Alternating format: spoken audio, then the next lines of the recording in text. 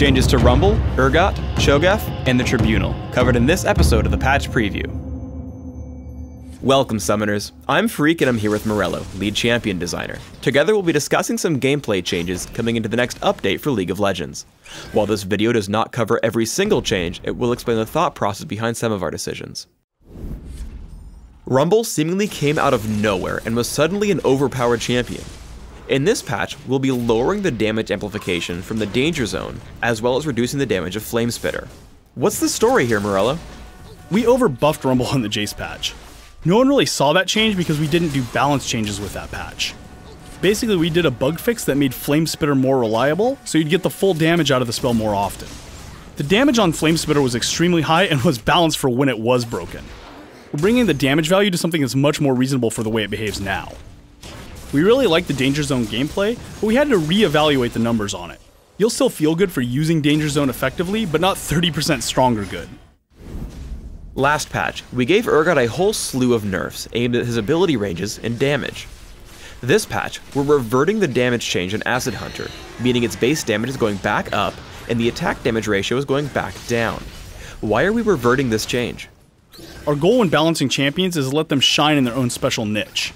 Urgot's role is really tanky fighter range carry who assassinates other carries, and we didn't want to change that about him. And we just went too far with the last nerf on his Q. Cho'Gath is one of our oldest champions and he needed a tune-up, so we're making three upgrades. We're quickening his cast times, fixing an issue where Rupture's delay before hitting was random, and making his Vorpal spikes scale in size as Cho'Gath himself grows. What do these changes mean for Cho'Gath? Sometimes we want to give abilities longer cast times, such as like Karthus' Requiem, but Cho'Gath just isn't one of those champions. We found that his cast times were really long and kind of clunky, so we're bringing him down to a half second. This change is going to make Cho'Gath feel a lot better when he chains his abilities together. For Rupture, it was basically hitting somewhere in between one half and three quarters seconds randomly. We fixed that bug, and now Rupture's timing is consistent right in the middle of those two values. Now Cho'Gath players can actually plan for the delay of the ability, just like other skill shots in our game.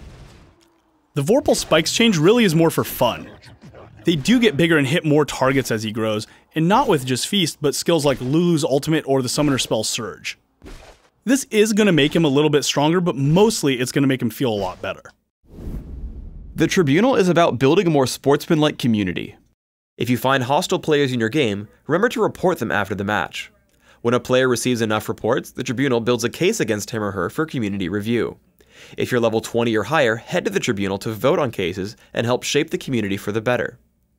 We're experimenting with new ways to reform players more effectively. We'll be distributing reform cards to players who receive punishment in the Tribunal.